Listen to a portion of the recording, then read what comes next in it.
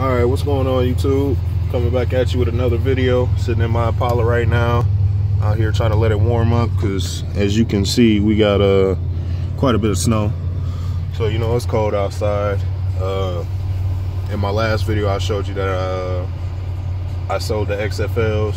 So they're gone. They're no longer in my trunk. Um, so I had I went ahead and I threw the HDC threes back in. Um, I've had them in this box before, but they were facing in the cab instead of facing the trunk. So I, I went ahead and I put them back in just because I wanted some bass. You know what I'm saying? I really didn't have nothing to do today. You see how you know I'm saying the roads are gonna be and stuff. So I went ahead and I threw them in. But um, yeah, we're gonna give you a little taste of it, see how it sounds. You know what I'm saying? Figured I'd give you guys a little update since it's been a couple days. Uh, I am gonna do this at idle. Know what I'm saying? My car idles right around 900 RPMs, a little under, maybe eight. Uh, just watch how low my voltage gets. The song is uh, Gargoyle Gargoyle Serenade by uh, E40. Back from a leave of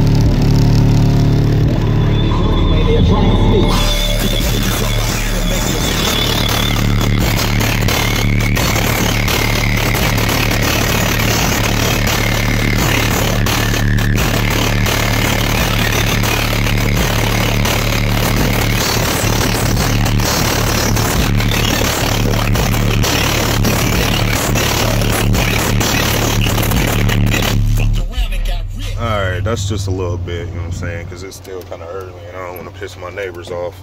Um, but yeah, you know what I'm saying? That's what they doing. They still in the sub box fail, you know what I'm saying? But, uh, saying, you see how low my voltage was getting.